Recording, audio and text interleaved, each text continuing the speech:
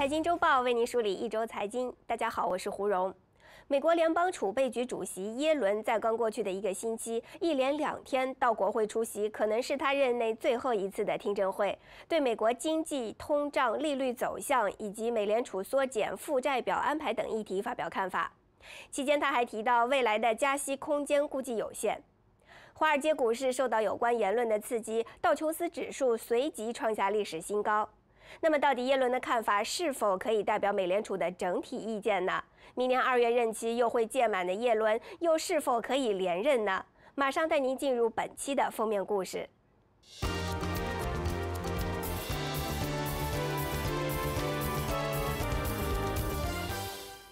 美联储主席耶伦在美国东岸时间星期三开始，一连两天出席国会听证会，就半年度货币政策报告发表讲话。在他正式发表讲话之前，有关的言辞内容在上周五就已经曝光，当中提及到美联储注意到资产价格上升带来的压力，但是认为有关情况并没有导致金融业以外的借贷增加，似乎是要警告投资者不要美股一旦下跌就将责任全部都归咎到美联储的身上，因为当局早已经暗示加息和资产价格下跌。怎知他在国会正式发表讲话的时候，却表示联邦基金利率未来并不需要再调升很多，便已经可以达到中性利率，也就是既不刺激也不抑制消费及投资的利率水平，暗示未来的加息空间未必会很大。他还表示，经济前景的不确定因素主要来自于低通胀，当局将会密切注视物价走向，如果通胀持续低于目标，美联储将会放慢加息的步伐。至于美国经济情况，他则认为，虽然美国经济增长出现放缓放缓，但就业仍然持续改善，楼市也持续稳定，商业投资继续增加，海外经济环境也正在转转强。美联储因而预期美国经济可以承受循序加息。耶伦的最新表态被市场解读为更加趋向于鸽派，刺激美股道琼斯指数创下新高，美债孳息下跌。耶伦在向国会汇报的时候，还提到了美联储缩减4.5万亿美元负资产债表的安排。他表示说，美国经济健康足以承受缓慢的缩表，强调目前距离缩表的时间已经不远，但因为银行体系对于储备的需求还不明朗，所以在现阶段还不能够确定缩表的规模。并且表示，美联储会继续以调整利率作为货币政策工具，只会在经济前景显著恶化的时候才会考虑重新启动买债。耶伦的言论与鸽派代表美联储理事布纳雷德较早前的态度是一致的。布纳雷德之前曾经表示，假如数据继续印证劳工市场强劲，那么短期内启动循序渐进、不乏可料的缩表过程是合适之举。他也曾经说过，目前的加息步伐已经接近极限，很难再加快。那么，这是否反映了美联储内部鸽派的声音已经占了上风呢？根据美联储公布的六月份议息会议记录显示，美联储委员对通胀前景以及对加息步伐造成的影响，实在还是存在着分歧的。多数委员都认为，近期通胀数据疲弱与通胀趋势的关联性不大。也有委员担心，近期通胀数据疲弱的情况会将持续。会议记录还显示，委员之间曾经讨论过开始缩减资产负债表时间，但是没有达成共识。当中有数名委员希望在数月内宣布开始缩表，但也有部分委员认为，今年较后时间才公布，将会更有更多的时间评估经济条件。这些都反映出美联储内部对加息步伐以及缩表的时间表其实意见并不一致，英鸽两派仍然在拉锯之中。另外，还值得留意的是，耶伦的任期到明年二月三日便会届满，他倒是是否还会连任，目前仍然是个谜。他在出席听证会的时候也被问到会否连任的问题，耶伦也只是以会专注现实的工作作为回应，没有给出任何的答案。而根据美国媒体引述消息人士的报道说，耶伦连任的机会其实并不大。总统特朗普是倾向于提名白白宫国家经济委员会主席科恩为下任美联储主席的。曾经出任高盛行政总裁的科恩是民主党人，支持自由贸易。如果落实由他接任下任美联储主席，他将会是四十年来首位非经济学家出任美联储主席。不过，由于他并非学院派或是货币政策专家出身，一向对于美联储主席象牙塔式的工作并不满意，也很抗拒要定期到国会接受质询。所以，他本人是否会因特朗普的邀请到美联储工作，目前仍然是未知数。至于现在七十岁的耶伦，身体状况也一直是受备受关注。他最近在英国与家人度假期间，便因病要入院治疗。而早在前年九月，他在发表演说后，也曾经因为身体不适要及时接受医护人员的检查。所以，金融界估计他连任的机会并不大。耶伦无疑是犹太裔女性的精英。她早在上世纪九十年代，也就是美联储前主席格林斯潘在任期间，就出任联储局的成员。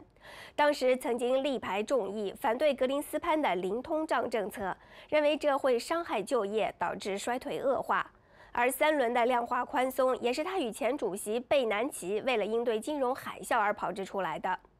有分析就认为，以耶伦的作风，他在离任之前应该会尽快还原任内的放水行为，以免出现资产泡沫。他在近期便曾多次在美联储内部提及资产价格偏高，由此可见，美联储近期的货币政策要针对的不单是通胀，还有资产泡沫。耶伦绝对不想看到的是，在他离任之后，泡沫爆破，成为历史的罪人。所以估计他会尽快开放缩表行动。而市场人士也普遍认为，缩表对于市场的冲击有可能比想象中更加严重。其中，摩根大通便指出，在缩表之下，无论是央行、金融机构还是外汇经济等过去十年的主权债券主要买家，都会变成净卖家。这对市场的冲击或许要比每个人想象的更加严重，而央行在过去也从来没有试过这样的量宽、这样的退出，减持手上大量持债更加是前所未有的挑战，所以难以估计到时会有多大的风险。好的，本周国内外还有哪些值得关注的财经讯息呢？马上带您进入一周财经回顾。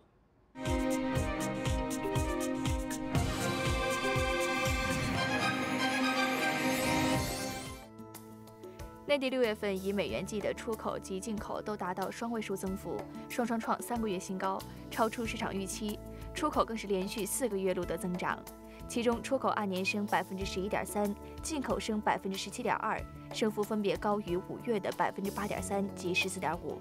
期间贸易顺差为四百二十七点七亿美元，按月扩大百分之五点六。人民银行公布，内地六月新增人民币贷款一点五四万亿元，多过市场预期的一点二万亿元，创五个月新高。上半年新增人民币贷款七点九七万亿元，按年增加四千三百六十二亿元。截止到六月底，人民币各项贷款余额按年增长百分之十二点九，增幅高过市场预期的百分之十二点七。数据还显示，六月广义货币供应量 M2 按年增长百分之九点四，增幅分别较五月底和去年同期低零点二个和二点四个百分点，并低于市场预期的百分之九点五，再创历史新低。人民银行表示，M2 增速放缓可能是新常态，市场不必过度解读。中国银监会副主席王兆新表示，目前银行业风险总体可控。而随着中国经济进入新常态，当中的各种矛盾及压力易传导至银行业，加上国际经济金融领域的复杂性及不确定性，令银行业风险出现新变化。部分高杠杆企业贷款违约上升，跨市场、跨行业的交叉性金融活动增多，利率、汇率市场化过程中，金融市场波动加大，出现违规以及经营不慎等行为。目前风险防控形势依然复杂严峻，必须持续用力加强监管。内地六月份居民消费价格指数 CPI 按年上升百分之一点五，与五月相同；按月则下跌百分之零点二，跌幅较五月扩大零点一个百分点。纵观上半年，整体通胀率为百分之一点四。另外，国家统计局并公布六月份工业生产者出厂价格指数 PPI 按年上升百分之五点五，升幅也与之前一样，按月比较则下跌百分之零点二，已经是连续第三个月向下。至于上半年 PPI 同比则上涨百分之六点六。加拿大央行决定加息百分之零点二五，加至百分之零点七五，符合市场预期，是近七年来首次加息。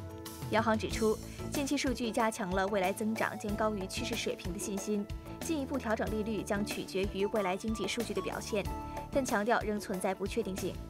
央行并指出，近期通胀疲弱只是暂时现象，预计通胀率在明年将接近百分之二的水平。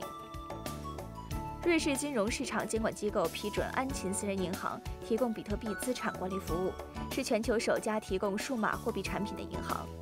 安琴表示，今年一月开始正式讨论比特币资产管理问题，并且向监管机构递交申请，于本周获得批准。安琴私人银行拥有一百四十六亿瑞士法郎的客户资产，在苏黎世、阿布扎比、迪拜及伦敦均设有办事处。好的，那么我们也是稍作休息，广告之后马上回来。欢迎回到财经周报，我是胡蓉。环顾完全球，现在让我们立足香港，着眼脚下，一起进入聚焦香港。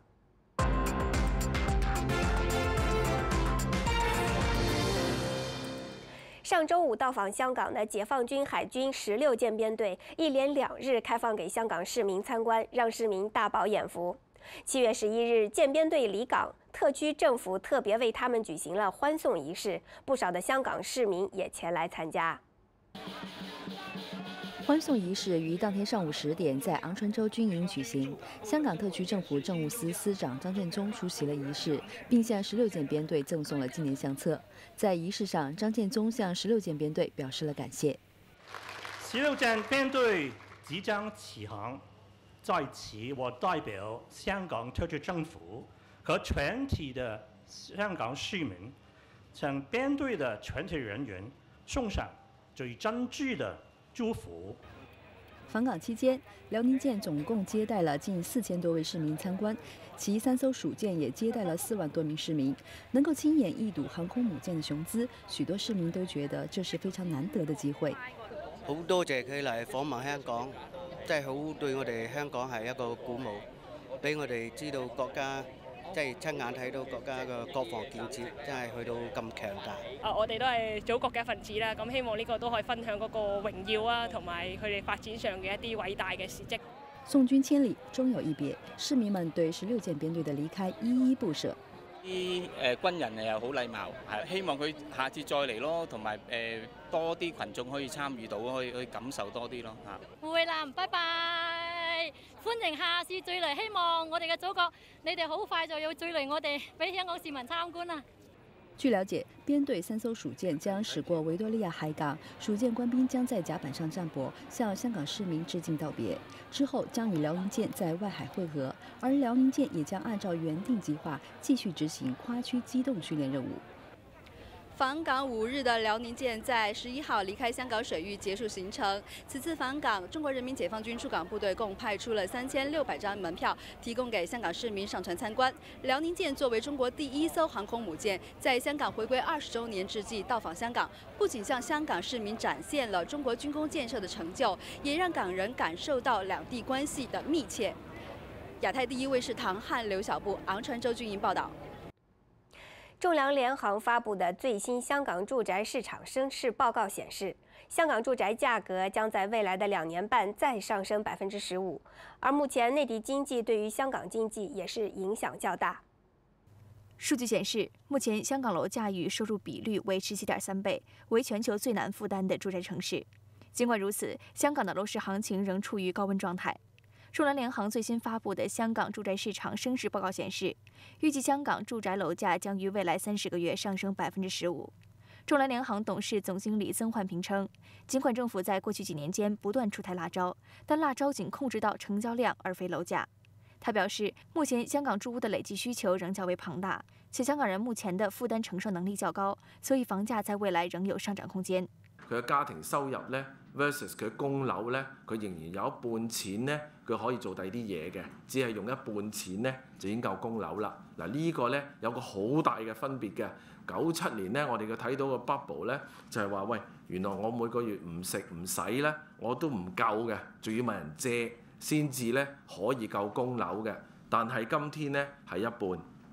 此外，报告中还提到，内地经济对香港经济的影响愈发强大，而楼市的走向也会受到一部分国家政策的影响。可以说，现在的香港楼市是香港买家和内地买家以及内地发展商共同热炒的结果。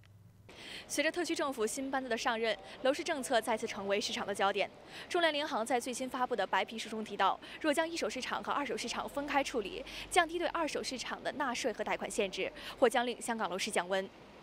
亚太第一卫视潘雪克林嘉良，香港报道。港交所日前推出的香港首对实物交收的双币黄金期货。港交所行政总裁李笑嘉表示，本次推出的黄金产品给予投资者更多的投资机会，并将引领离岸市场人民币汇率以及利率的形成。三、二、一，号！港交所十日推出两个黄金期货合约，分别以美元和离岸人民币计价，并可在香港进行实物交割。港交所行政总裁李小加表示，本次推出的黄金产品透过人民币及美元两个渠道，给予投资者更多投资机会，进一步引领离岸市场人民币的汇率及利率形成，并成就多个首次纪录。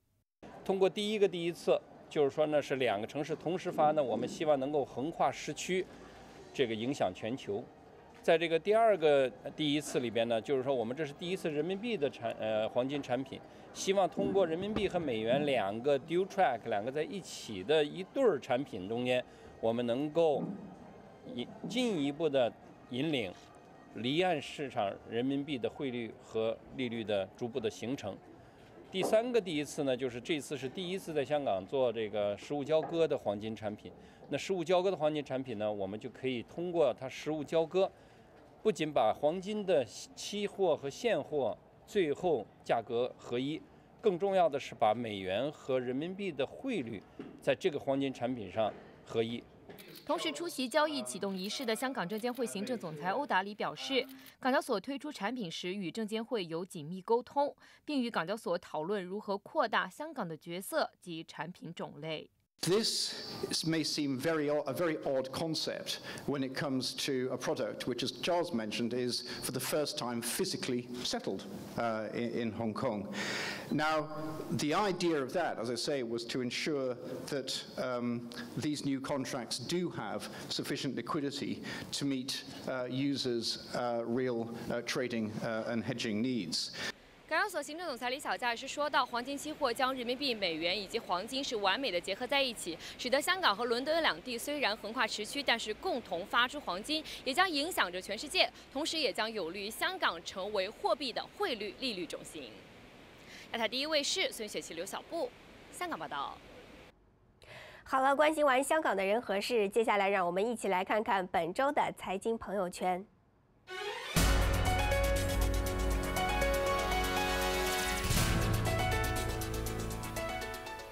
就在 SOHO 中国因为十天之内抛售三个项目而成为焦点的时候，七月十日，万达商业融创中国发布联合公告说，万达将十三个文旅项目的百分之九十一的股权转让给融创，代价为二百九十五点七五亿元，并且由融创承担项目的贷款。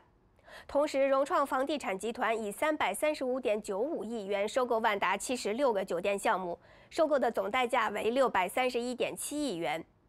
王健林与孙宏斌，一个是举国皆知的首富，一个是房地产圈最著名的并购达人。无论哪个单独拎出来，都是一个头条。但是两个人公开同框却是第一次，这一出手就给了地产圈一个重磅炸弹。震惊之余，一个个疑问随即浮上心头：首富为什么要卖？老孙为什么要卖？在下什么棋？钱从哪里来？对此，融创中国董事长孙宏斌表示。收购万达资产的资金全部来自融创自有资金。截至二零一七年六月三十日，公司账上还有九百多亿元现金。融创在今年上半年的销售业绩为一千一百多亿元，全年销售额将超过三千亿元。而另一方面呢，王健林表示说，转让项目能够大幅度降低万达商业的负债，并且进一步实现轻资产化运营。这次回收的资金全部用于还贷。万达商业计划在今年内清偿绝大部分银行贷款。一年前，首富充满豪情壮志的对迪士尼的呛声仍然是言犹在耳。一年后，首富却选择将十三个文旅项目一次性的卖出，此间的转让转折让一众看客直呼看不懂。网友们纷纷评论说：“王健林之前不是很看好万达的文化旅游项目吗？说好要打败迪士尼的，怎么你突然就甩手不干了呢？”而大家更感兴趣的是，一身轻之后的万达又会做些什么呢？在今年六月初，冰果盒子首家无人智能便利店在上海开业。七月三日，冰果盒子刚刚宣布完成超过一亿元 A 轮融资。然而，目前呢，该店已经贴出了由于技术调试暂时停运的通知。本着对新兴事物的探索，开业以后，有不少的上海市民开始进入这无人便利店体验。